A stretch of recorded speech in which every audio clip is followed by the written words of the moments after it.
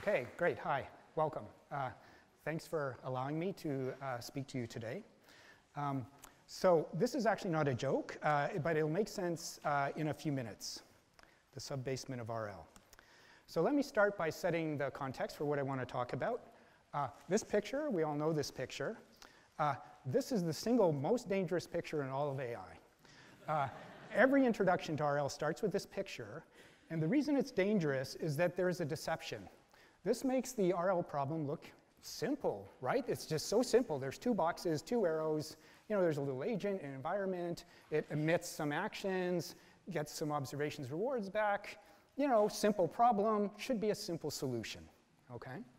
Uh, the difficulty with this is that it masks an immense array of subproblems. And in fact, it's, uh, I've always found it difficult, but I, I, would claim it is difficult to really wrap your head around the scope of this problem by only thinking of it at this level of abstraction. So uh, just to kind of narrow down a bit to what I want to talk to you about today, let me start to kind of peel off layers of complexity that are embedded in a problem like this. Now, the first one or two are maybe a bit of a cheat. You probably weren't thinking of them, but uh, the first layer of complexity is multi-agent interaction. So you look at this environment, you say, oh, it's, it's an oblivious universe, unaware of the presence of the agent in it. Well, we didn't say that, right? The environment could easily consist of other agents. Those other agents may indeed be aware of your hapless little agent. They could be helpers, they could be enemies, they could be cooperating, there could be coalitions. Who's a friend today might be an enemy tomorrow. Uh, the complexity of trying to think about the learning problem in this context is this inherent non-stationarity of multi-agent interaction right? So whatever you think you can trust today and do effectively today might be completely different once the market has absorbed whatever's happening out there and things change. Now, I admit you probably weren't thinking about this, but this is a legitimate, very important uh, area of research and investigation under RL. And indeed, we'll be seeing a, you know, several presentations about multi-agent multi interaction shortly. So let's assume, though, that we didn't really intend this. So we'll peel away this layer of complexity, simplify it down to the simple problem we should really be studying. Well, here's another thing that we actually deceived you with in this picture. Partial observability. So uh, that environment you're in could be arbitrarily complicated. It's the universe, right? And our, our little agent is endowed with a couple of, you know, sensory uh, you know, some sensory apparatus and a few modalities, but maybe a very sparse, limited uh, ability to understand the state of the universe. Okay? Uh, this, of course, I think as you saw this morning, introduces yet another level of complexity to the problem, having to do with actually constructing a memory uh, that allows you to make effective decisions in the environment. Uh, just to make it concrete, uh, you know, most of you right now uh, are in a state of trying to you know, figure out, A, why am I here and what am I getting out of this? But also you're in a state right now currently where it's like you're thinking about how do I get home? Where do I live? How do I get to the airport? Point being, none of that context, all your commitments, all the things you have to be doing right now, none of that is in front of you right now. It's not listed on the screens for you to like not use your memory. You have to construct a memory of your context in which to decide how to act okay? And we saw some lectures last week, indeed, talking about how you might uh, learn how to construct memories. Super important problem, super central, not simple. Okay, probably when you see this picture, you're probably thinking of this somewhat more standard problem where we simplify it one further level by assuming uh, complete observability. That is, the universe or the environment is simple enough that if I just look at it right now, I know everything I need to know. History is irrelevant. Everything I need to know about how to act in the future is summarized by my current immediate observation. We uh, typically will call this the Markov state assumption. Uh, a state is Markov. If given the state, the future is independent of the past. Okay? So, you know, fair enough. Probably you were assuming it was this level of complexity of problem we were facing. And maybe this is the base level that we really need to understand to kind of get you know, our feet under us and up and running and start building agents and towering edifices of demonstration glory. Well, there are actually still many layers of complexity, even in this sort of canonical MDP style problem. The next one, which uh, uh, should be more familiar, I think, because it's come up already, is exploration. So we're asking our agent to figure out how to interact in the world. But unfortunately, the data it's getting to learn from is controlled by its own decisions. Okay? And so we hit this, you know, now very famous exploration exploitation trade-off, which is like sometimes you have to execute actions not because you're going to gain anything by it, but you're going to learn something by it. On the other hand, we can't just sort of uh, be executing information gathering actions all the time, right? We might starve or die or stop breathing. Uh, so we do have to exploit now and then, and there's this subtle balance. Okay, so that's, that's an interesting problem, and I think you've already seen some coherent ideas on how we might approach that problem. So maybe this is the base level we have to consider. Well, I'm going to argue actually there are actually multiple layers still down to some base level where I, I feel like the whole enterprise is kind of founded. So let me sort of take it down one further level. Imagine I remove the exploration problem from our poor agent. What does that mean? It means either give it a, a, simple model or I just give it some data and say that's it, right? You're not going to get more data. You're not going to get uh, like another model. That's it. You know everything you need to know. So there is no inherent exploration problem. But there is still a lot of complexity here. In particular, having to do with this, uh, you know, the, the fundamental properties of sequential decision making. So if I give you data about, like, say, you know, Go games or some sequence, you know, episodes in some environment, uh, you have this temporal credit assignment problem. You could look at the sequence of decisions or actions that were taken, and it's actually very tricky and very difficult to figure out, well, which, if any of those decisions were responsible for a good outcome or a bad outcome. That's the retrospective view. The same problem arrives in the prospective view, which is this concept of future value. So when I'm deciding how to act right now, there is indeed a trade-off between short-term immediate reward, the thing that's most rewarding right now, like eat that donut, versus long-term consequences, right? And this, uh, uh, this uh, point that we're actually affecting the state of the environment, not just gaining reward. Uh, I will now argue, and I'll come back to this later, that this also is an extremely complicated problem. And in fact, there is a more fundamental problem below even this. Uh, and what's odd about this, and maybe what's a little bit off kilter about this presentation perhaps, is that uh, the thing below this, I'm going to show you, I'm going to teach you some things about it, I'm going to claim that this really is sort of a foundational level, but it is, uh, without trying to be offensive, neglected, I think, in a lot of the treatments and introductions to machine learning and reinforcement learning, and uh, I'll make that point shortly. So what can possibly be below uh, sequential decision making, exploration, partial observability, and multi agent interaction? Well, the simple problem of just figuring out how to optimally act. That is, there's no exploration. I give you fixed data. There is not even sequences. What if it's one shot, right? Here's a situation. What do you do? Here's another situation. What do you do? No future consequence. But what really matters is can you execute actions that get you high reward, yes or no? Okay? This is a base, base, basic problem that I argue is the sub-basement of reinforcement learning. Uh, it's at this level, down in the sub-basement, where I sense in my own education and the education of others that it's somewhat neglected, but it actually supports the whole uh, enterprise. And it's also the level at which we actually see the connection to the rest of machine learning that you've been sort of learning things about. It's where we see the direct connection to supervised learning. It's where we see the direct connection to many concepts in well, latent variable inference and estimation uh, and statistical concepts. So uh, my plan for today is quite simple, is I'm just going to introduce you to some of the issues that come up at this sub-basement level. Use this as a way to connect to things you already know. And in fact, I'm going to claim you already know how to solve this problem, but you were not shown how to solve it in the way I'm going to present it. Uh, but uh, you're prepared to do it if only you connect the dots. Okay. Uh, so that's the agenda. Okay, so when I strip away all the complexity, we get to this base problem of how do you like sort of solve optimal one-step decision making or how do you uh, like optimize a policy? We get this uh, very simple basic problem, you know, one-step uh, optimal decision making or batch policy optimization. I think the best way to proceed with this is just to start with a simple picture, okay?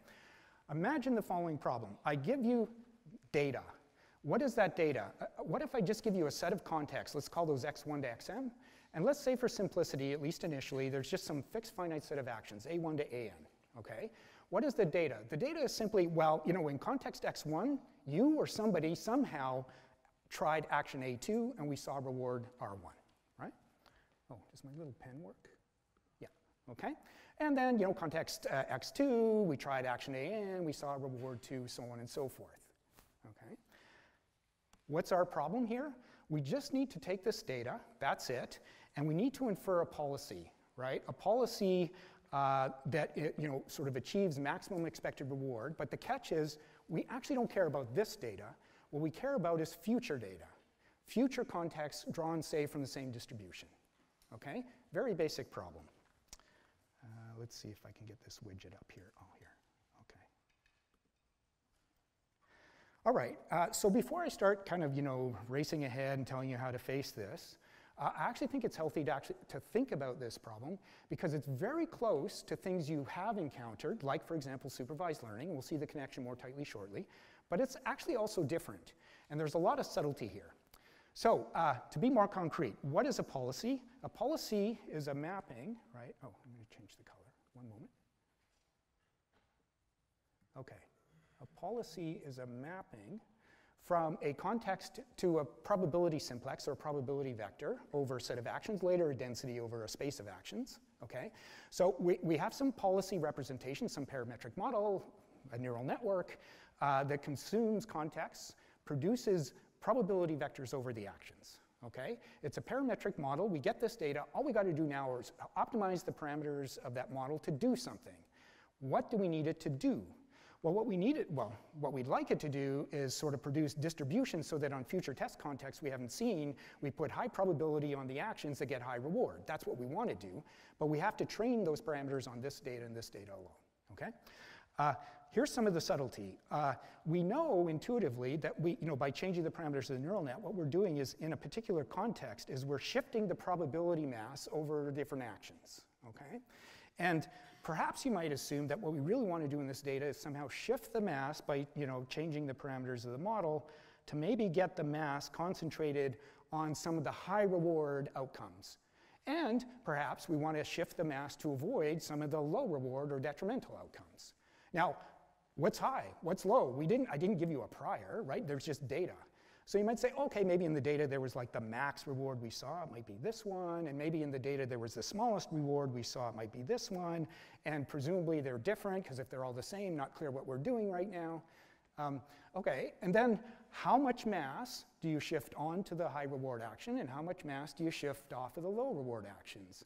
And where do you strike the balance?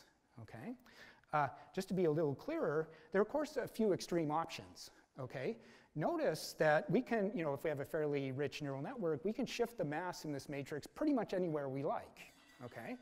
This will sound dumb, and it probably is, but, you know, for example, we could shift the mass to avoid every action that was actually in the data.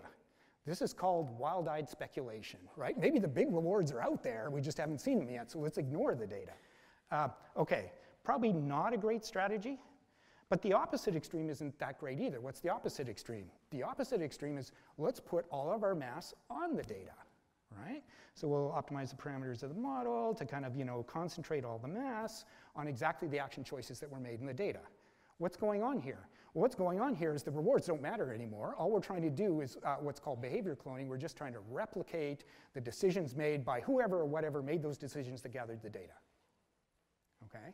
Is that a good idea? Well, I didn't say, by the way, uh, that this data came from a good source. It came from a source. It could have been a previous you, right, or a previous instantiation of the agent. It could have been just collected by a bunch of different agents.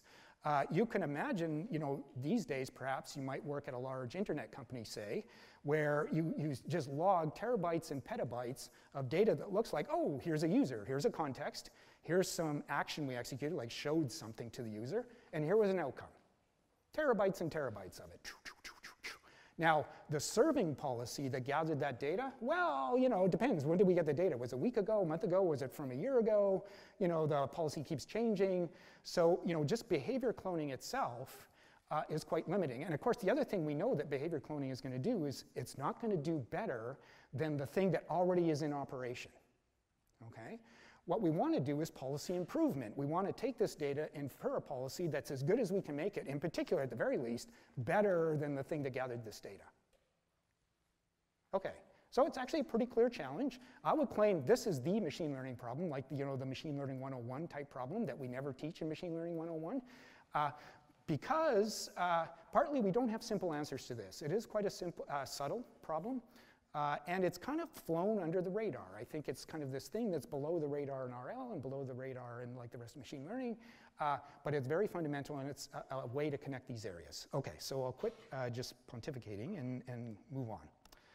So uh, to start to make sense out of this task, uh, well, we can organize our thinking a little bit by you know, realizing there are pretty much, you know, there could be others, but sort of three basic issues we'd like right? One is there really is a generalization problem. So just to remind you, we actually don't care about how good your policy is on this data.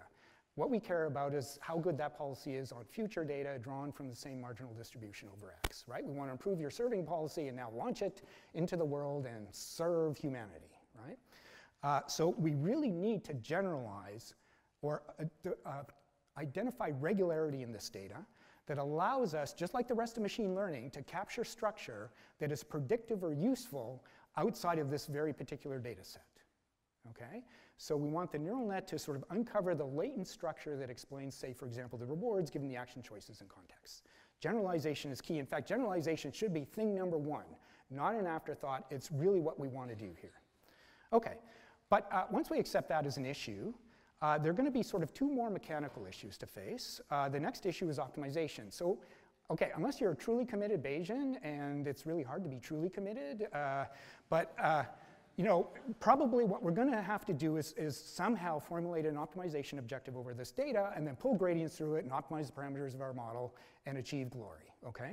So we're going to have to decide what is the optimization objective we really want to bring to bear, and it is not straightforward, I claim.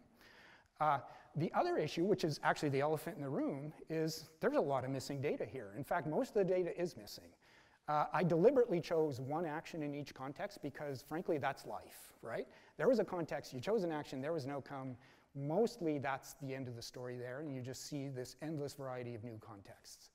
Uh, clarification question, Dr. Bowling? Sure. Uh, if we didn't have missing data, does yes. three, two, and one all go away? No. okay, almost there. Almost there. Okay. That wasn't a clarification. Uh, all right, so before uh, we move on here, uh, there is yet another elephant in the room. Okay, so missing data is another part of the challenge. But there is, there is an elephant in the room, and in fact, this is such a fundamental problem. You might be presuming, and some of you are actually probably already jumping up inside, it's like, oh, oh, oh, I know how to solve this problem. Uh, or you might be asking your question, like, how is this not known, right? It's such a basic thing. Like, this is a solved problem, right? We know how to do this. We know what we're doing underneath, you know, like in the boiler room of reinforcement learning. Uh, well, and in fact, the answer, well, there's sort of two, but let me sort of highlight one of them. The default answer that many of you are thinking about right now, or at least some of you, is, ah, tut, tut, tut. We know what we're doing here. We want to just simply importance correct the observed rewards uh, and formulate an unbiased estimate of the expected reward of the policy, and then just optimize that. It solves all the problems for us. We, we're really not fighting with missing data. We're really not worrying about the optimization objective. It's just known, don't waste my time, okay? Uh, and here it is now, there's a bit of a detail here, which is that also requires a bit of a cheat, which is, okay, secretly, we weren't just logging the rewards in all these contexts, we were secretly also logging the proposal probabilities. Whatever mechanism that was gathering the data, we asked it to tell us the probability you chose this action in this context, and hope it wasn't zero or one, okay? Uh, and so we log these proposal probabilities, let's call them beta, uh, and then we just simply correct by dividing by beta the rewards uh, and then formulate this little, uh, you know, this little widget formula here, which is an unbiased estimate of expected reward, and then just optimize that, and we're off to the races, right? Like reinforce, like all of these sort of standard policy optimization-based techniques. In this batch offline case, kind of reduced to this. So uh, why isn't this just the answer? Uh, well, it, it isn't just the answer because I'm, I'm going to tell you about that, but, um, but it does some things okay. So uh, when we go back and, and hold this uh, sort of baseline or default approach up to the three things we care about, generalization, optimization, missing data, on the topic of generalization, I actually don't have a lot to say about this, neither good nor bad. It's, it's, I don't have any clear evidence it doesn't generalize well. Uh, there is some evidence that other techniques generalize a bit better, and I'll show you some of that a little later, but it's pretty nuanced and subtle, and it's, it's not an overwhelming thing. What's overwhelming is that that objective has made two commitments, a commitment to an optimization objective and a commitment to how you're going to treat missing data. And in both of those commitments, I'm going to claim and show you that it has made a very poor choice. Uh, and what's interesting about this is that it's made a very poor choice and that you already know that. And that in part of your training machine learning has already shown you how, for this optimization question, you would never do this. This is not an effective choice. So step one is to teach you or to remind you that you already know how to do this better than that, okay? Uh, and second issue is in terms of a treatment of missing data, again, somehow neglecting the rest of machine learning statistics, which thinks awfully long and hard about how you do inference over missing data. This uh, approach is, uh, I can't think of a polite word. Anyway, uh, unsatisfactory. Okay, so uh, that's our goal. Two parts, sort of two little sub-lessons. Um, how should we choose an optimization objective for training? What should that be? What should it do? What should it not do? And, uh, and then, once we get that under control, uh, how are we going to deal with the missing data problem? And do we actually have some reasonable, rational, uh, rational ways to approach this? Okay. Uh, oh, optimization objectives. Okay, so I want to isolate the two issues, the, the optimization objective and the missing data inference problem. And the generalization, okay, let's assume the generalization is solved by fiats because neural networks are magical things that can like uncover latent structure in data and it's just going to work, okay? Uh, but I want to isolate the optimization question and the missing data question as requested by Dr. Bull. Uh, and so to isolate the optimization question, let's simplify further and say you have complete data. Okay? So we had a list of contexts, we had a list of actions, and in every row we have logged somehow what was the reward if you counterfactually took this action in this context for every action, every context in the data. Great. And now uh, we look at our, our target objective, and indeed we do agree. What we actually want to do is to maximize the expected reward. We want to train our policy to maximize expected reward. Now, actually, not necessarily on the training data. We want to have you know, maximize the expected reward on future data. But you know, empirical risk minimization, like if we can you know, optimize the expected reward on the empirical sample from the data, you know, it's a reasonable proxy for doing it uh, you know, on, on the full distribution. Fine. So uh, done, right? Um, not so fast. So uh, this optimization objective, which we agree is what we actually want to optimize, okay, is profoundly problematic. In fact, in all of machine learning, you will struggle to find a worse optimization or training objective than this one, okay? Uh, now, there are a couple things. I'm going to unpack it a little bit for you because I'm going to need to build up some building blocks that I'll bring together later. Uh, this thing uh, has plateaus everywhere. It, it's nearly a piecewise constant optimization landscape, which means you're going to see zero gradients declare victory, but you're going to be off in some terrible, terrible policy somewhere with no training signal, no hope of finding anything good, and we'll discover this shortly. It also has other, you know, cute little effects like it's pretty easy as an adversary to embed structures where I can create exponentially many local maxima, exponential in the number of features and the number of actions and so on and so forth. You can embed like these kind of interference patterns and you can just make a, a, as bad a landscape as you'd like.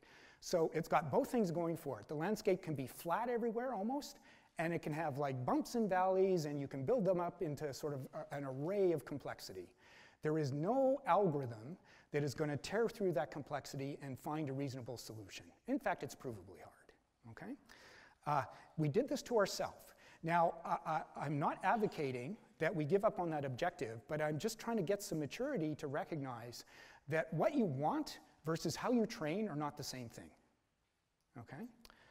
Um, actually, I'm going to skip this. I might have to come back to it, but there's a little bit of the math underlying. Uh, but maybe I can just move on. Uh, okay, what you want and how you train are not the same thing. Uh, and here's what's curious about this, and it's, it's mystified me for the last year or two, is that you already know this. You already know this because this is essentially the supervised learning problem. This is the first problem you learned in machine learning. Um, and when you learned how to solve that problem, you actually never optimized the thing you cared about. What do I mean? Okay, let me just specialize that picture a tiny little bit to bring it into something that you actually indeed must have seen by now, right? Supervised classification learning. Supervised classification learning is a subproblem of what we've been talking about, where the rewards are just simplified to being either zero or one, and it turns out there's a single reward of one in each row, the class label, okay? Uh, and our expected reward objective is expected accuracy. And let us all agree, for the sake of argument, that we want to train our neural network to maximize expected accuracy on test data. No problem, no controversy. Okay? That's not the point. The point is, you never trained your neural network this way for this problem. Right? how did you actually train it? You didn't train it to maximize r dot pi. You actually trained it to maximize r dot log pi. r dot log pi is not r dot pi, okay? You were tricked. Now, uh, I, you know, I, I, don't know exactly everyone's educational background. It may have just been handed to you, like, oh, here's the MNIST demo, download the code. Yep, here's the log likelihood. Yeah, yeah, Fisher, 100 years ago, statistics, you know, statistics, mumble, mumble. It's the right thing to do. Off you go, maximizing r dot log pi. Okay? And yet, maybe it, it was below your attention. You measured the actual training and test accuracy on the side while you were optimizing this proxy objective. Okay? Here's the other thing you already know, you've already seen it, is that even though you want to minimize uh, training error or, or maximize training accuracy, you would actually do a much better job of it by not minimizing it directly, but by, uh, sorry, not optimizing it directly, but by optimizing the surrogate. What I mean is you want to maximize training accuracy, and the way you maximize training accuracy is optimize something else, but the result you get by optimizing something else is going to be a lot better than the result you get by directly optimizing the thing you're trying to optimize. This is already like machine learning 101. It's just accepted. In supervised learning, we don't even think about it. That's the problem, by the way. We don't even think about this. We use surrogates all the time. Okay? Yet somehow machine learning, or sorry, reinforcement learning, we miss, you know, we drop some of the observations and we just swap right back to saying, nope, Gotta maximize directly the thing we care about. Okay? Uh, how can this be so? How is minimizing uh, or maximizing r dot log pi better than maximizing r dot pi, even when we measure r dot pi? Well, what's gone on here is that uh, this, this surrogate function, r dot log pi, is not arbitrary. In fact, it shares some very useful properties and some relationships to r dot pi. In particular, if we look at the output layer of the neural network, so you, you know, consume the context and then you produce this score vector across actions, which is just a bunch of numbers, which then get converted by like the softmax transfer, which I've kind of buried down here. You, you convert the probability, uh, the, the vector of scores to probabilities by exponentiating and normalizing, okay? But uh, when we're training the neural net, we're basically training, right, that output layer of scores, which are then like, you know, backpropagated through to send the training signal to the network. From the perspective of that final output layer, the score layer, the top objective is, as I've already described, a horrific objective, nearly piecewise constant, exponentially many local maxima, potentially. Uh, but the r dot log pi, from the perspective of the scores or the logits, is a convex function which means that if you've trained a good representation in a lower layer of the neural network, the fine tuning at the top layer is totally reliable, never fails, finds the globally optimal solution every time. Okay? Uh, it's kind of like this. We have, you know, bad landscape, and somehow, by switching from r dot pi to r dot log pi, we have created somehow a better landscape that looks like this.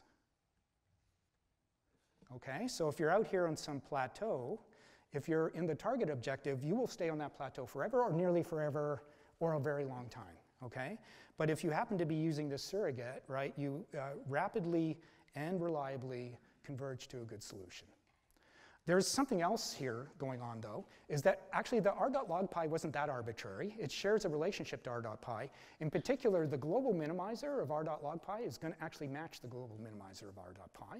Now, uh, when you can realize it, like in the limit of arbitrarily large numbers. Point being is that we really have done this. We've taken a very difficult landscape and we've just constructed or you know, engineered another landscape that's much more trainable that preserves the solution as long as we have enough capacity in our neural network, right, so that we're not sort of hitting these frustration, like uh, the sort of the representation frustrations. Okay?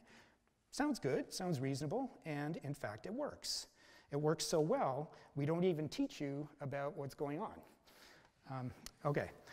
Uh, oh, and that's this calibration property. So more mathematically, you can say for any you know, target accuracy in the, in the true objective you care about, there's going to be some proxy accuracy that if you achieve it, you guarantee the same thing so it's actually principled, it's sound, it's good computing science. Okay?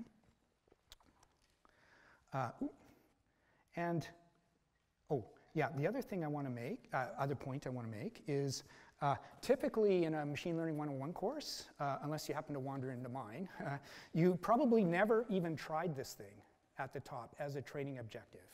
Uh, but actually generally try to force my students to try it. See for yourself, okay, what happens. Um, point one is it's perfectly differentiable. There is no reason why you couldn't do it. In fact, you just change one line in your TensorFlow script or whatever, just swap the loss function out, the gradients flow fine, you attempt to train the thing you care about, and you discover it's very difficult to get this to work. And then you swap back to the original line in the code, and you discover it works amazingly well. Uh, you can try this yourself. It's not a big deal, but I tried it for you. Uh, and I don't know if you can see these graphs, but this is sort of what it looks like. The yellow line is what you get by trying to optimize on MNIST, say with a single fully connected, you know, hidden layer, fully connected neural network or something, right? Uh, if you try to directly optimize expected uh, reward, uh, you do indeed see the plateaus, right?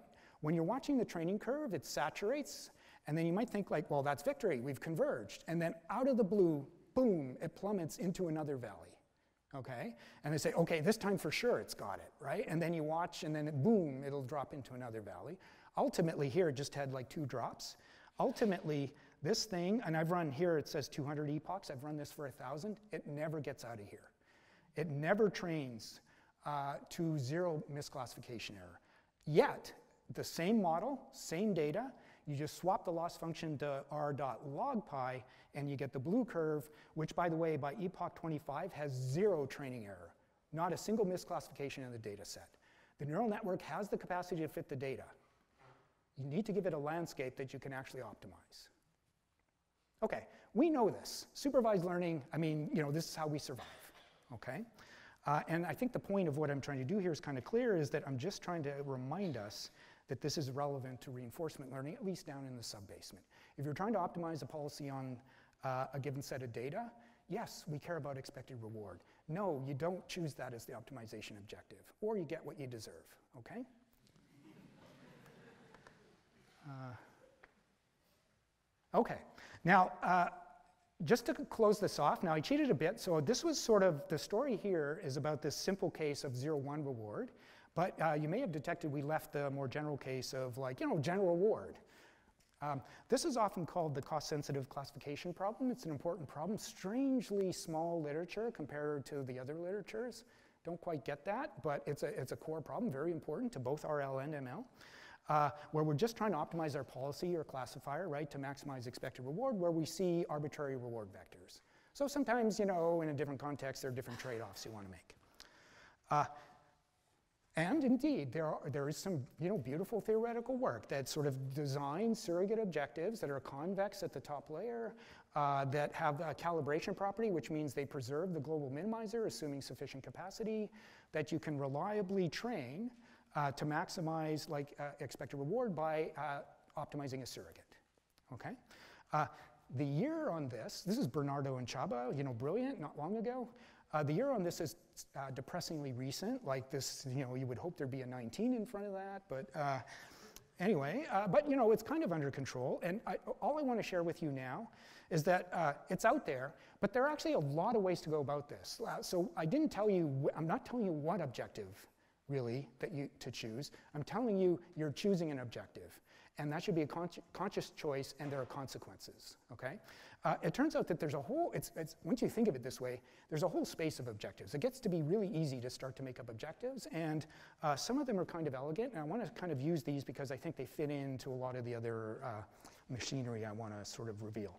So what if we take our expected reward objective, and then we cheat a little bit, we just smooth it. One of the problems with r dot pi is that the true optimal pi actually becomes a one-hot vector, right? A deterministic policy that, uh, uh, you know, accumulates all of its probability mass on the single best choice or evenly between the best choices. Um, you know, that's a little bit messy. It really does give piecewise constant landscapes and so on.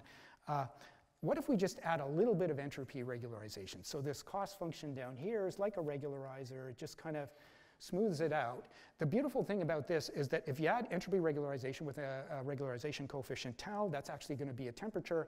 The optimal policy now becomes like an exponentiated normalized distribution. So it, it spreads the mass in an interesting way and smoothly, right, uh, given the target reward vector.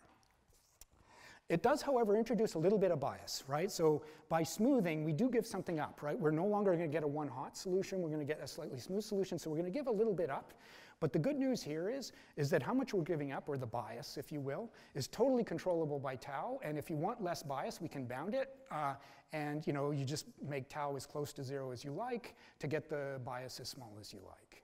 Okay? So I'm going to say it's a friendly extension. Uh, now, adding entropy regularization does not solve the landscape problem. It kind of smooths it a bit, but really most of the problems I've already revealed to you still uh, are still there. Okay, it's still very difficult to train. Um, but it allows us now to connect to a lot of other tools and techniques from AI, um, sorry, machine learning and statistics uh, that I think give us a space of things to consider.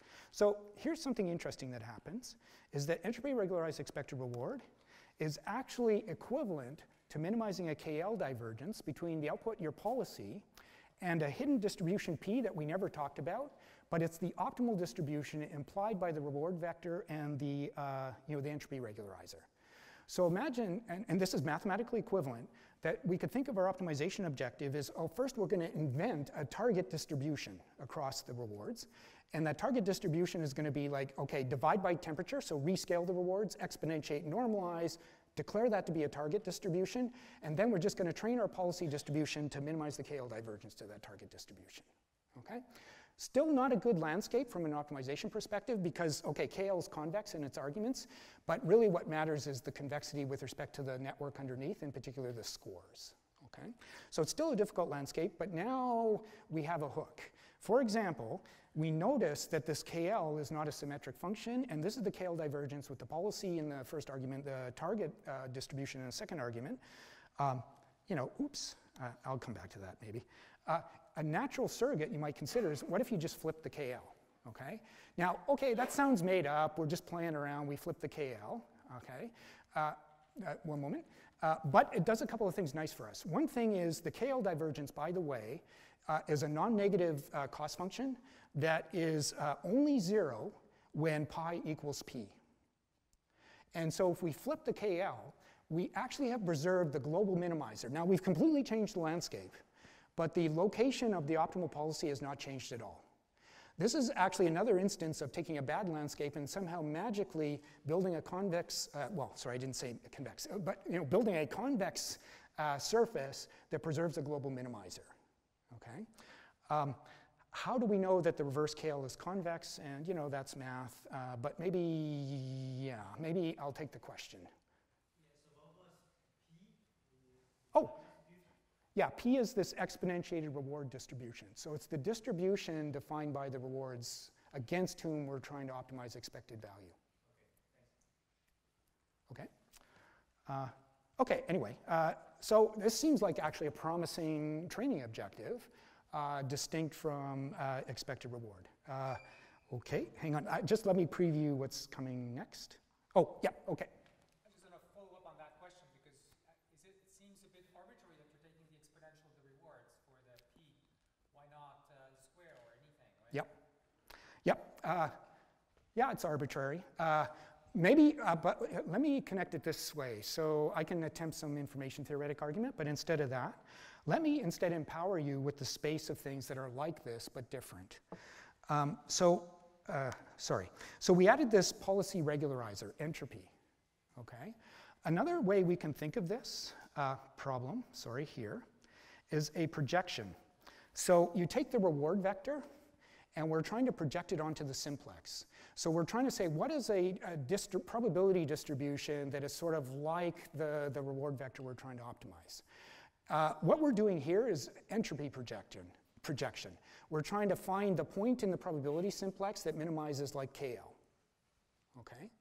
Uh, now, you can just change your notion of geometry and you can get other mappings or other projectors from reward vectors to policies. For example, Euclidean distance.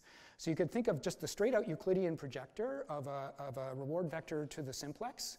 Uh, this is sometimes called Tsallis entropy. Uh, what's interesting about the Euclidean projection is that it's sparse. The entropy projection is never sparse, right? We always have non-zero probabilities. The uh, L2 projection to a simplex may zero out. It may wind up on a face or a corner, right? It may zero out a bunch of probabilities, but it will preserve, right, some information about the rewards. Uh, once you realize, you know, that that's the game, you can start just, you know, playing around with different sort of projection distances. Now, I'll caution you, there's a couple things going on. One of the things going on, of course, is computational tractability, right? So you don't, you, you can invent projections that are like really hard, like to actually compute. Okay, fine, but, uh, but I don't want to do that, right? Like, so, you know, there is sort of a computational expedience side to it. Um, but there's a big space of projectors that you could actually consider here. That's not a direct answer to the question of why. Uh, and I'm, I actually have no confidence. I don't think I have a good why answer, and I'm not convinced I've seen in the field a good why answer. Um, I just know that if we don't do this and we go back to expected reward, we're in a lot of trouble. I do know that. Um, okay, fair enough. Uh, not dead yet. Uh, oh, okay. So uh, let's okay. So let's just say we attempt this, uh, um, you know, surrogate KL by flipping the KL. Kind of hacky, but let's let's just go with it. We know we've preserved the global minimizer, and we know we've created a much better optimization task. Take my word for it, but uh, like you can do, you can try this yourself, and we'll see some results shortly. Um, it does another interesting thing, uh, which is it is closely related to the maximum likelihood objective that we just saw and that you've already learned about in supervised learning, but it is not equivalent. And actually, that's an interesting thing, and I just want to share with you that this was a discovery that isn't that old. Um, so if we compare to maximum likelihood, what I mean is let's go back to the reward vector being a 0, 1 indicator. So a sparse vector that's all 0 with a single 1. Okay, so that means when we take a dot product, say like q dot r, all that is is q on the, uh, on the argument, right, on the correct label. So it's the score on the correct label. The f of q, I guess I haven't described yet, it's the log normalizer, the softmax. Anyway, the, the objective uh, for maximum likelihood really is a regularized score maximization. We're trying to minimize or you know, elevate the score on the correct action uh, with a regularizer F. Okay? The KL is not quite the same. What it's taking is not R itself, it's taking P, which again is you take the R vector, you, you divide by temperature, you exponentiate normalize. Okay? Point being is that the, uh, the entropy projection, R to P, yields a p vector that is not sparse. So r is sparse, all 0, single 1, but p is actually going to have a non-zero probability everywhere and shrink the probability on the target a bit. Okay? So for free, for better or worse, when we do this KL trick, what we've introduced is this thing called label smoothing or sometimes distillation or there's all kinds of folklore around it. But instead of like just maximizing the probability of the correct label, we're training to soft targets. Okay? Turns out training to soft targets, at least in a lot of object recognition applications, is a free win for generalization. Not an overwhelming win, but you know, almost, uh, almost for free, you can improve your generalization error a little bit in almost you know, most contexts just by smoothing the labels a bit. And that's a side effect. So that's just this reverse KL uh, objective. So it's more trainable than the thing we care about, but we even get these potential side benefits of some generalization lift. Okay, anyway, I'm not here to be a salesman. I'm just trying to sort of share with you some of the things that I'm seeing like uh, when these fields intersect. Uh, yeah, and then in the zero temperature limit, they become equivalent. Uh, oh, last point, and uh, I'll just maybe skip it. So, well, okay, the reverse KL is a convex, uh, at least convex at the top layer, a convex surrogate for the target KL, but it's not an upper bound. But indeed, you can recover an upper bound by sort of uh, mixing the, uh, the reverse KL with some quadratic. The quadratic also has the same global minimizer. Uh, the nice thing about this is now you can do theory and you can prove like uniform convergence bounds and so on and so forth, and maybe get the NeurIPS reviewers to accept your paper. But, uh, you know, but it's really, it's more of a theoretical proxy, although in practice, when you start to realize that there are many components you can mix into a surrogate loss objective, uh, there are often some benefits. Uh, yes, sir? So you call it the reverse KL, but it, it's more like the regular KL. Yeah, from supervised learning, yeah. Right, because you put the data as a reference, and the model Yeah. is the thing that you're trying to optimize on the right-hand side, which makes more sense if you want to be conservative. Yes. So Joshua is pointing out that reinforcement learning has the KL backwards. Uh, okay. Uh, actually, yeah. Uh, okay. Uh, cool. And okay, cheesy experiment, uh, but you know, just this is you know somewhat real. So okay, None of my demonstrations, again, are towering edifices of demonstration glory. They're just like MNIST and CIFAR, okay? But, but you know, we can learn things there. Uh, and so if you just you know, give it a run, right? You just take a, you know, a simple neural network and you train it on MNIST and you just you know, try the different objectives, you do kind of, you see these phenomenon. If you try it yourself, you'll see something like this. For example, this thing here, sorry, uh, in, in optimization we want to minimize, right? So this objective here is one minus uh, accuracy or uh, training error, right? So if we use the training error objective to train, what we discover is you cannot get that training error to go to zero, okay? And you suffer some generalization error. Now, it's probably better than the least squares, you know, which has maybe a higher generalization. Here's our friend log loss, which is, you know, the machine learning 101 objective, which is not bad. It definitely gets the training error to zero. But we find that like label smoothing and, you know, maybe combining it with other terms can be beneficial. This is on a cheesy MNIST experiment. We tried something on a, you know, sort of a ResNet 20 CIFAR experiment and see somewhat similar things going on, although to be fair, uh, machine learning 101 log loss is pretty competitive, and we barely eke out, I think, a generalization. It's almost imperceptible, but anyway, there it is. Um, I actually think this is real. Okay. Oh, got it. How am I doing? Oh, okay, I'm cool. Uh, okay, so that's it. So uh, just summary yeah, okay, shot my mouth off, but really all I want you to, to, to, recall is when we go back to this picture, we're trying to optimize a policy on a given set of data. The choice of training objective is a choice, okay? And you can do what your you know, professor or boss tells you to do, but that's a baseline, and then you can do better by thinking about like alternatives. But it's a little bit of a subtle art, right? Because you want to preserve enough you know, structure of the original objective, and you want to engineer the landscape to be more trainable. But computer scientists, machine learning engineers, that's what we should be doing. Okay. Uh, now I want to, uh, uh, okay, now I want to move to the second issue, but yeah, there's a question. Uh, so did you see some benefits for doing this in RL where you have, instead of a label, it's a sum of rewards? Uh, so did you see evidence of benefits of changing the objective and... Yeah.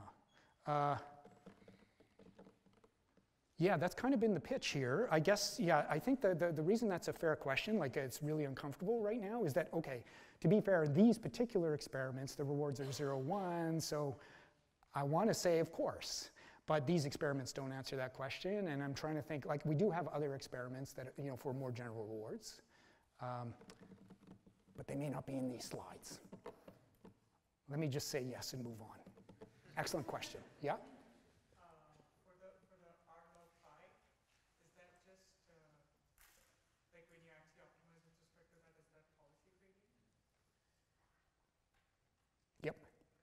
Now, uh, you need importance correction.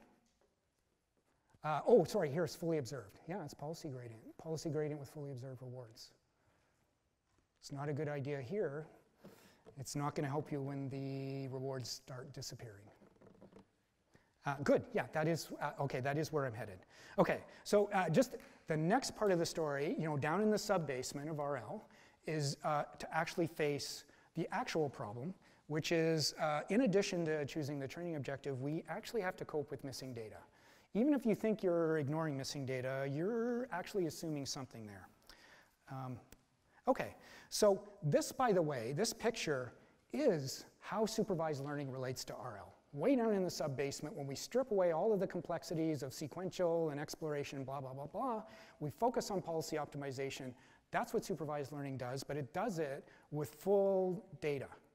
And all we're doing now is considering that same problem where we have missing data, where we get a partial reward matrix, not a complete reward matrix. Okay? So next issue, last issue uh, that I'll actually teach about is uh, how do we cope with missing data? Um, it's also healthy at this point to remind you that you've encountered missing data. I'm assuming mostly in, in like er, uh, initial machine learning courses, like you learned about graphical models and you learned about conditional probabilities and joint probabilities and marginal probabilities.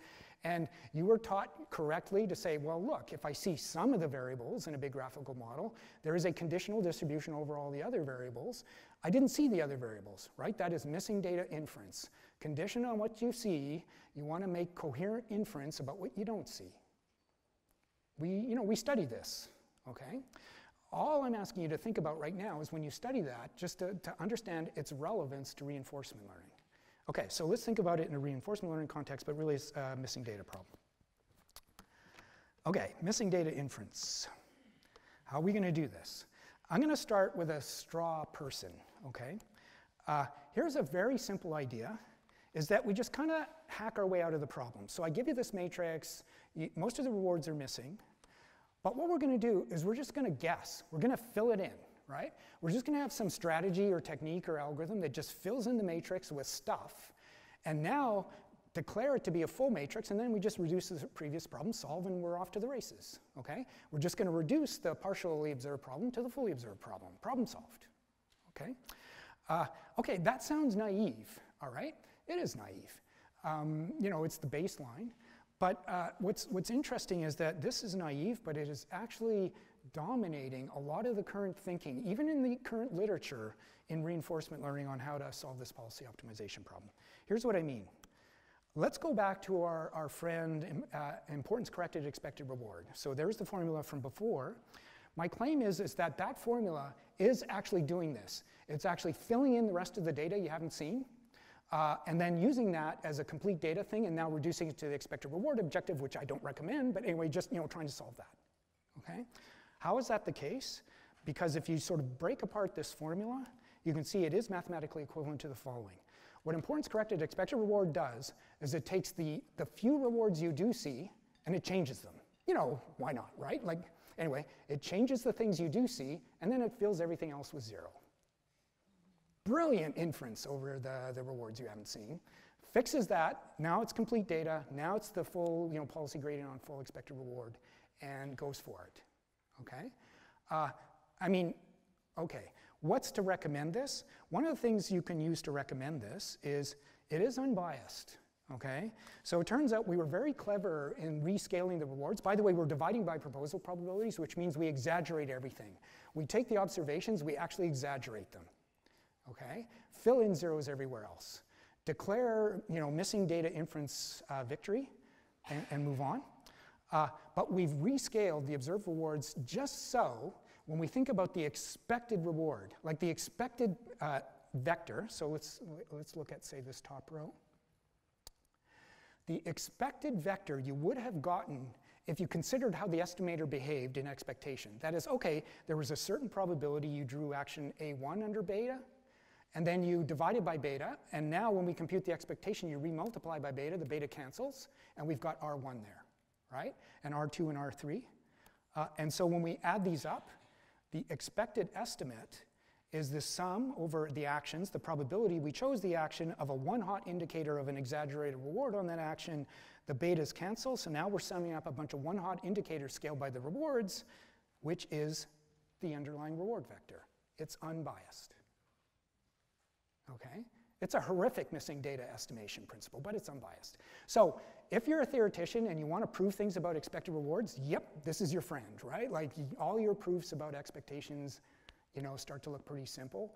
But in terms of algorithmic design or machine learning principles, like, come on, okay. So uh, there is, like, you know, again, I mean, there's work here, right? Like serious work on this problem.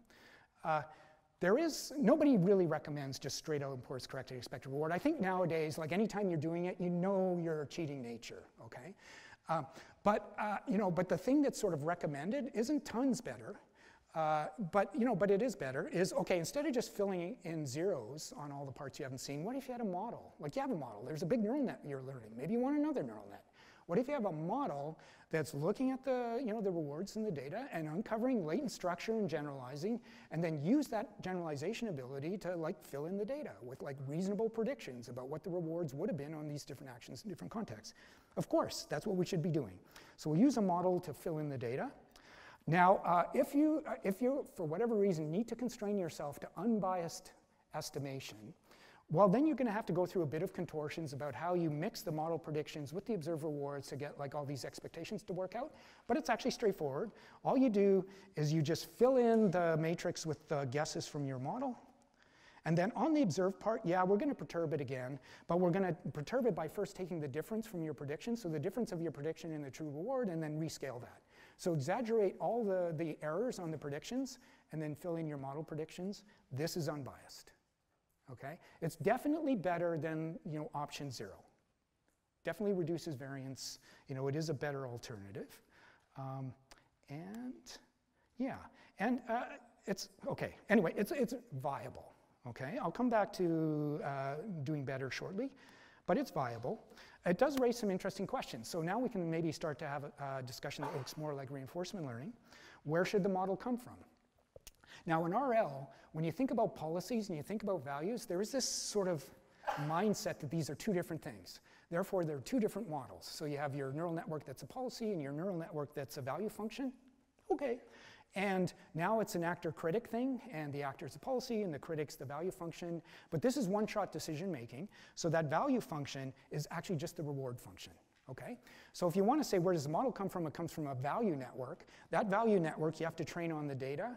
The typical thing, which is kind of reasonable but not great, is just to train the value network to minimize the squared prediction error of the rewards. Just a straight out linear, uh, sorry, straight out least squares regression. Okay? So fit a model to the rewards, squared regression, and then optimize the policy to the, uh, to the model, right? Use the model to complete the data. Okay? It's okay. Uh, but here's the thing about this, is in one-shot decision making, the value function is independent of the policy. If you change the policy, it's the same value function. Which means if you think of this usual actor critic thing like existing in some uh, eternal loop where the actor improves the critic and vice versa, nope, one iteration. You estimate the value, it's the value for all policies. You optimize the policy, done, fixed point. Okay? Uh, maybe it's a fine fixed point. It turns out this is okay. It kind of works. It's not great, it kind of works. Okay? Uh, it certainly is a good sort of baseline. Um, here's what we tried, and okay, I admit, you know, we're fighting with reviewers and so on and so forth. That's life. Uh, but, uh, you know, one of the things I've, uh, I've often liked about these kind of projection views of like mappings between rewards and probabilities or values and policies is a unification. What if we had just one model, one neural network? Uh, and I, my, my argument is that's actually somewhat liberating in this context. We take that one neural network that was our policy, and we just look at the top layer, we notice that we have both things there. We have a neural network that predicts scores across rewards. Let's think of those scores as uh, reward estimates, a regressor. But that same neural network, when you convert by like scaling, exponentiating, normalizing, is now a policy. It's the same model, okay? Uh, if we think of this as unified, then when we start to like, you know, kind of monkey around with all our uh, alternative objectives, we kind of just apply those objectives for free. We just pull gradients through the objective. It goes through our one model. There's no messing around with like different models and so on and so forth. It just, it just works, okay? It works mathematically. Um, okay, so we've actually sort of probed around a bit with this sort of unified approach where we just have one model. It's both actor and critic or policy and uh, value function. There is some mathematical subtlety about the values being, uh, the value to policy mapping being shift invariant. Uh, but other than that, we can sort of just plug it right into these surrogates and train. Uh, oh, sorry, this isn't just about us. I'm just sort of advocating for a perspective, right? Uh, this allows us to take all of the previous discussion about you know, sort of engineering the training objective and applying it here in the context of missing data. So we can take these imputation strategies and just compose them with the optimization objectives on a single model like we had before, and it just works mathematically. So it's just a simple, more sort of factorized view. Okay? Anyway, I'm just saying, I think it's valuable to at least think about things this way. So uh, we try it. Ah, yeah. And uh, just want to point out that this actually kind of works. Um, so these are just repeating the same experiments from before. But okay, like the small charts below are just copies of the previous fully observed charts. Uh, but if we just take the same data like you know MNIST and CIFAR, and then instead of like giving you the full 0, 1 reward vector, what if we do the following silly, silly thing? We just take our behavior strategy, which just uniformly at random reveals one label per image. So you want to train MNIST, and then you, you, know, you have an image of something, and then you reveal 3 and you get a 0. It's not 3. And then you take another image, you reveal 4, and you get a 1. Like, ooh, that's a 4. But you only get 1 which means in your training data, only one tenth of it is positive, nine tenths are negative in expectation. Okay? So it's sort of significantly reduced data, But when you take the significantly reduced data and then you start to train like these alternative objectives, I admit the, the differences get smaller. We actually start to see some noticeable benefits. Um, okay, so uh, here is expected reward. I know I've been complaining about it, but expected reward with like this doubly robust imputation, okay, it's not terrible, all right? Uh, nobody's getting the reward, uh, the training error to zero. By the way, the training error is measured with respect to the unrevealed full vector, okay? So no, you can't like magically impute the correct answer everywhere in the matrix, okay? But you can do fairly well and generalize, and actually I think these are astonishingly, astonishingly good results once you look at the y-axis. So if I give you just that one-tenth of the data to train on, and then we optimize the neural net, say, using uh, you know, these various objectives, we're getting somewhere from 4 to 2.5% test error, okay?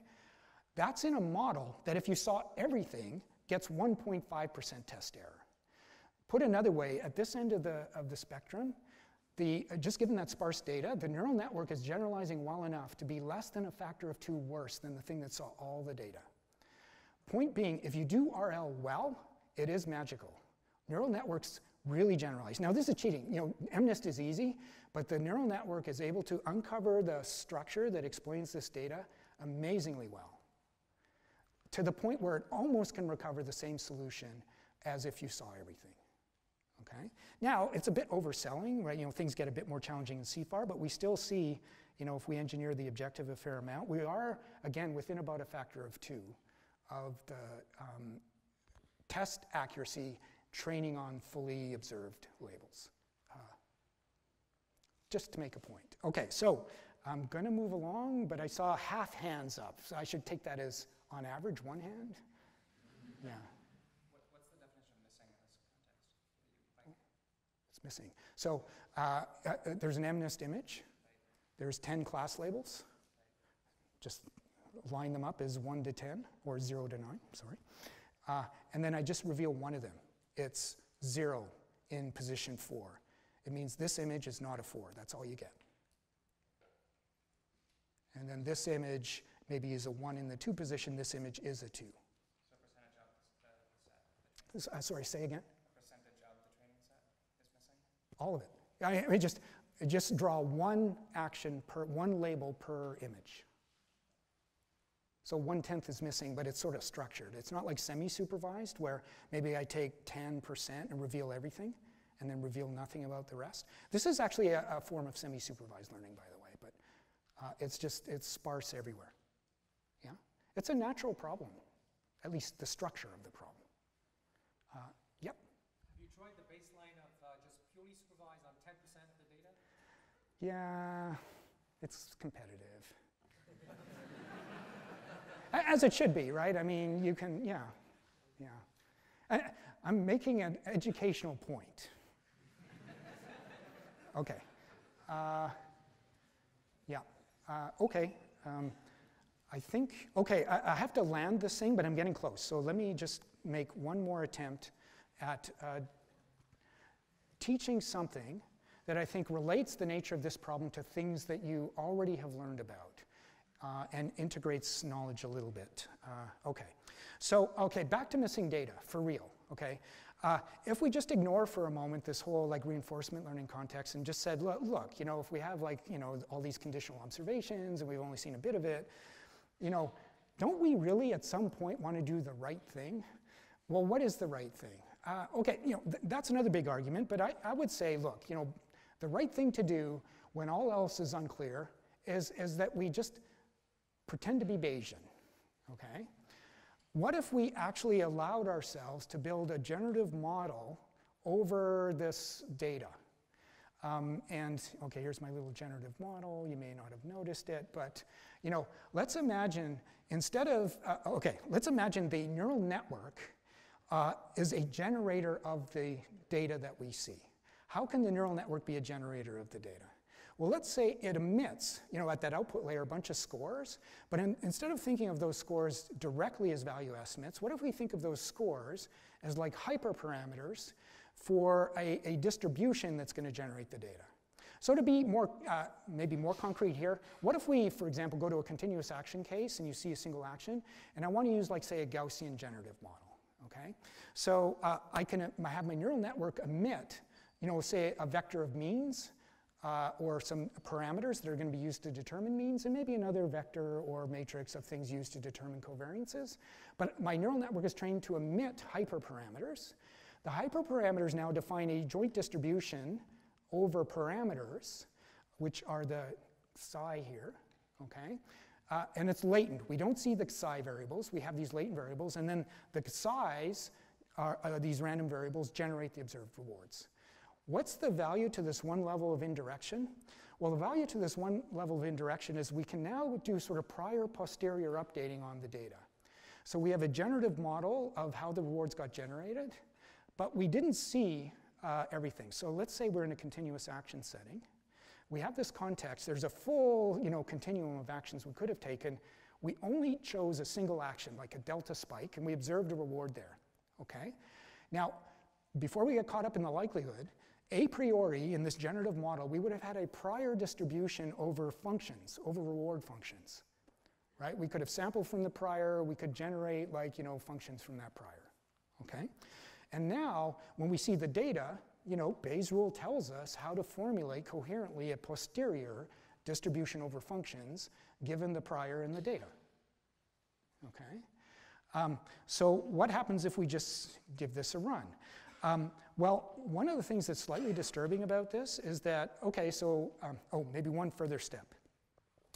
So we have the prior, we have the likelihood function, and then we formulate a posterior. And if everything, for example, happened to be linear and Gaussian, we could get like this closed form uh, Gaussian posterior, which I, um, I think Roger even showed uh, you guys last week, so that's cool. Um, we want to go one step further. This is the posterior over the parameters, like the Gaussian distribution over parameters given the data. Uh, we actually want the predictive distribution, which is the posterior distribution over the full, you know, an arbitrary reward given the, the observed reward. So we have to integrate out this latent variable. Anyway, in, in you know, Gaussians, it's all closed form. So we get the predictive distribution.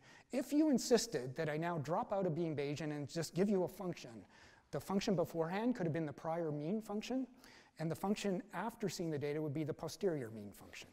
Okay? Uh, and it will do a very natural form of imputation, which is it'll take this observed reward here and then, you know, maybe we had a prior, which was sort of like this, and then we get some posterior, which maybe shifts, you know, the mass to explain the data a bit better. Okay? Uh, because uh, we're doing this Bayesian inference only at the output layer of the neural net, we still want the underlying neural network itself to uncover explanatory structure in the data that it then uses to kind of set up the prior that generates things that explain the data. Okay?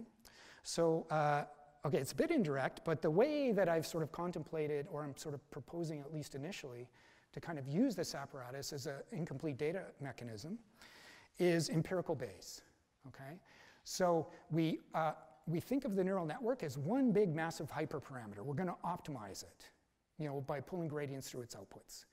And then we're going to do proper Bayesian inference over the latent parameters. We're going to get a prior, we'll get a posterior, and now we just want to you know, choose a loss function or an objective through which we can pull gradients to train the hyperparameters of the neural network. The, the canonical default way to think about this is called empirical Bayes whenever you're sort of optimizing part and integrating part. Um, but we've done it in a controlled way where the integration part is, is controlled and tractable, and then the optimization kind of becomes a standard thing for us. Uh, the marginal likelihood here is none other than a form of least squares regression with a little bit of bias and a little bit of scaling. Okay? So it kind of drops down into something that we we already actually was already there in some of the charts, like least squares. Okay, a little bit better, but effectively least squares. But what's interesting here is that we can also now think of other sort of uh, generalizations of empirical Bayes, other objectives where we think of more general uh, spaces of objectives that can still exploit this missing data inference, but still can just create a, a loss function that we can pull gradients through to train the neural net. The two obvious ones that I'm just pitching here as a, as a simple case study are KL divergences between the prior and the posterior.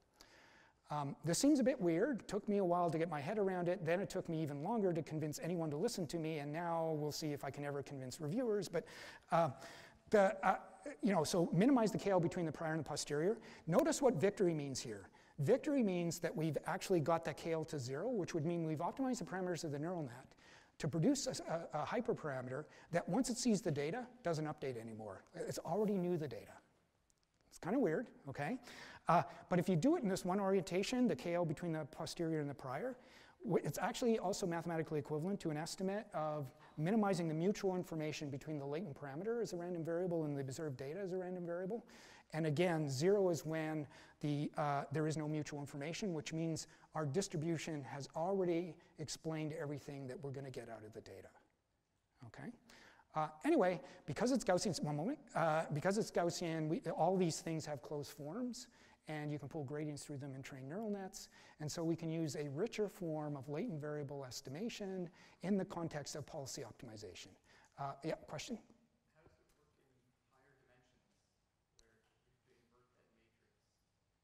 Yeah, well, uh, okay, it works just great because I cheat. I'm never going to build the full covariance. So the, okay, so this, the dimensionality of interest here is the dimensionality of the action space. So if the action space is a continuum but one dimensional, it's totally trivial. If, you, if you're dealing with like thousand dimensional continuous actions, like that's a pretty elaborate robot already. You know, often we're dealing with control spaces, dozens of dimensions, and so on and so forth. Even if you could solve that, by the way, you've got a job. Uh, you know, so uh, you know, once we're up into thousands or tens of thousands, it'll become an issue. But look, we just cheat. We deal with the diagonal covariance, and so it's not actually, it's not computationally much overhead, really. Um, okay. Anyway, just as a proof of concept. Oh, by the way, this lecture did kind of subtly, mm, you know, lapse into researchy level kinds of things. Uh, you would actually hope that in the sub basement that wasn't the case that it was all sorted out, like the boiler room is all plumbed up and it all works. Uh, sorry. Anyway, okay. So, uh, you know, so here's just, uh, again, just as a demonstration, uh, you know, I didn't have that much time. You know, MNIST experiment, continuous action MNIST. Imagine, just for the sake of argument, you think of a 10-dimensional continuous action space MNIST problem. What could that be? Well, build target vectors for each image, right? So each image has to emit the target indicator vector. And then take a random exploration strategy that picks a random indicator vector that doesn't necessarily match the target indicator vector. Call that a, a behavior strategy. And then take that sort of guessed vector, add Gaussian noise to it. Produce a, a random sort of uniform Gaussian vector. And then your reward is simply the squared Euclidean distance to the hidden target vector you never saw. So you take MNIST, you see a one-dimensional scalar reward for each image, but you actually had to, you saw 10-dimensional action vectors that you're scoring. And now our policy has got a map from an image to actually 20 dimensional vector, actually 22 dimensional, but anyway, 10 dimensions and offsets and uh, another for variance. Okay? If you just do reinforce, you know, importance corrected, expected reward minimization, in this context it fails quite badly. Like, I guess it, okay, it didn't diverge, it's not going to diverge, but it, uh, it actually was not able to fit the data very well, explain the data, and it wasn't able to generalize well. Uh, pretty much anything we do with a Bayes estimator. So here, this is like vanilla, classical, empirical Bayes estimations, pretty good. Uh, these KL variations are actually both pretty good. In fact, if I could get rid of this stuff, you could start to see only subtle differences, and I claim, like if you do the mutual information thing, it's a little bit better than the rest, but anyway, that's probably just noise. Uh, Point being is if you do sort of reasonable latent variable inference, it looks to me like actually, yeah, I mean, uh, those are reasonable principles. They complete the data in a reasonable way, and if you use that as a target for training, you actually do better than this kind of like, nope, nope, nope, let's just target expected reward and only do that, okay? Uh, there is, however, an awkwardness about this, which is, and this is the other catch, oops, the other catch, oh, have I lost it? is that Bayes' estimation is always biased. It's biased. Bias is your friend. And whenever I get into a heated argument in a hallway, you know, at some conference or something, I try to remember, remind people about the story about Stein shrinkage. You should all know about Stein shrinkage. It doesn't solve all problems, but there's a lesson, which is biased estimation uh, isn't just guessing and then win when you're right and lose when you're wrong proper biased estimation, like proper Bayesian inference with sort of proper optimization and integration, at least in some isolated contexts, provably dominate the naive estimators. In the sense that even if your prior is wrong, uh, the weighted sort of regularization you get out of proper inference still gets you a better expected test error than you would have gotten by trying to have an unbiased estimator. Bias is your friend if you can control it. Okay? Anyway, uh, I don't want to sell that too hard. It's just like, okay, uh, we probably want biased estimators. When in doubt, start with Bayes, make it tractable, you know, that, okay.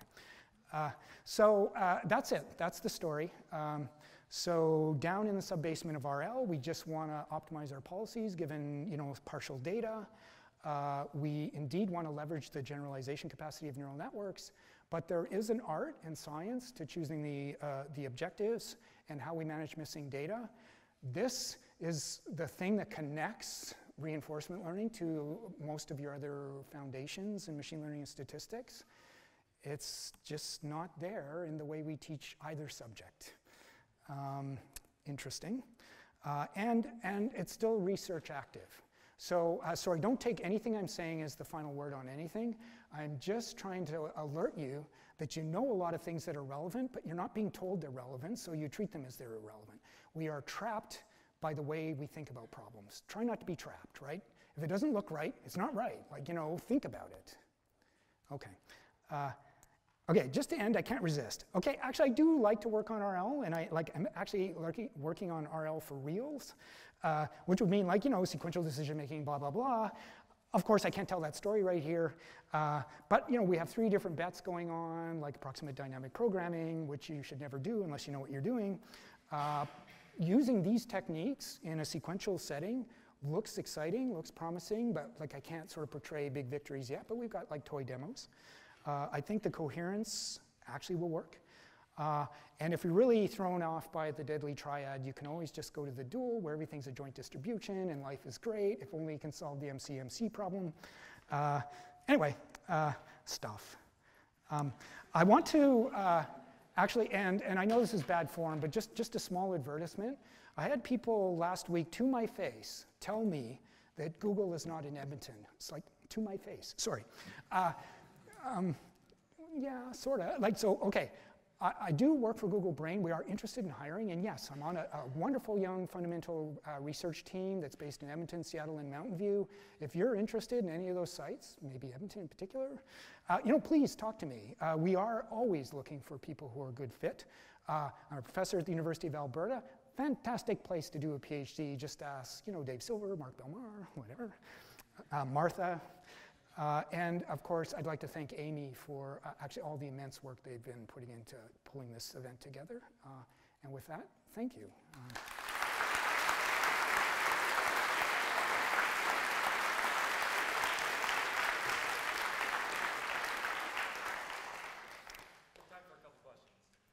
Thanks, boss.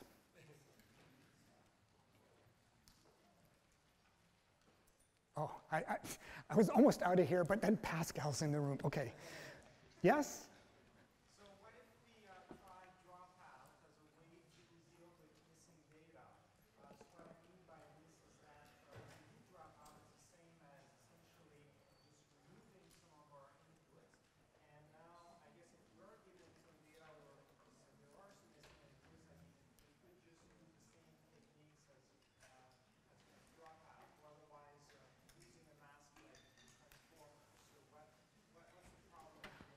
Yeah. Wow. So Pascal, that, like that's an amazingly cool question. Uh, I'm probably going to twist it into something I want to answer.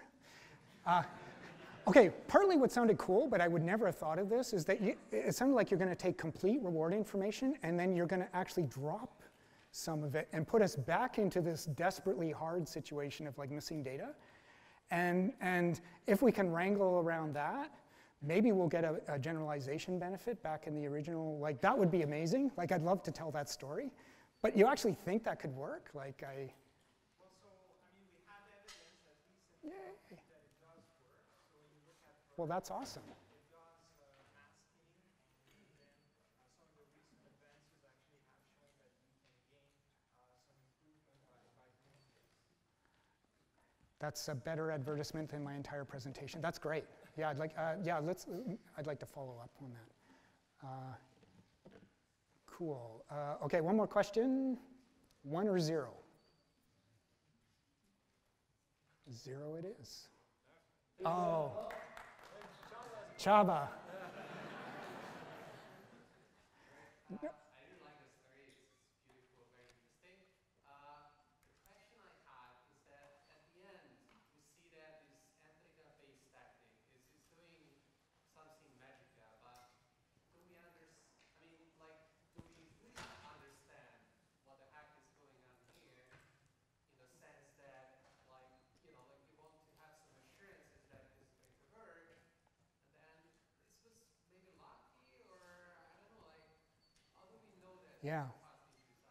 I, I mean, I think that's an excellent question. So, of course, it was lucky. There's selection bias, right? I wouldn't have shown the experiment. Anyway, uh, but uh, yeah, yeah, yeah. Uh, no, I, I don't think this is uh, like I think the, the I think it's conceivable that we could, you know, work out some theory that explains why this has to work. Uh, you know, under whatever assumptions, like you know, if we accept, say, the Gaussian assumption was somehow true, and so on and so forth. I think it's not that bad, right? Because the, uh, for example, if we go back to Stein estimation, right? Like we can prove like this domination. We can prove like the expected squared prediction error of this like adaptively regularized estimator dominates the, the unbiased estimator. Uh, quantifying that gap is not work I've seen done, but I, I wouldn't be surprised if it's out there. But that, I, I feel like partly you're asking for a much more detailed analysis of like how can we quantify that gap, you know, in terms of like uh, finite sample guarantees and so on and so forth.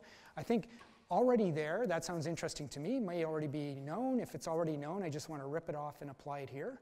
I think, I, I mean, I think the path is there, but I'm not aware, like I haven't done it, and I'm, I, I doubt I ever could, but like I, I, am not aware of an end-to-end argument. I think that's a legitimate uh, pursuit, yeah. Okay, I'm out of here. Thanks.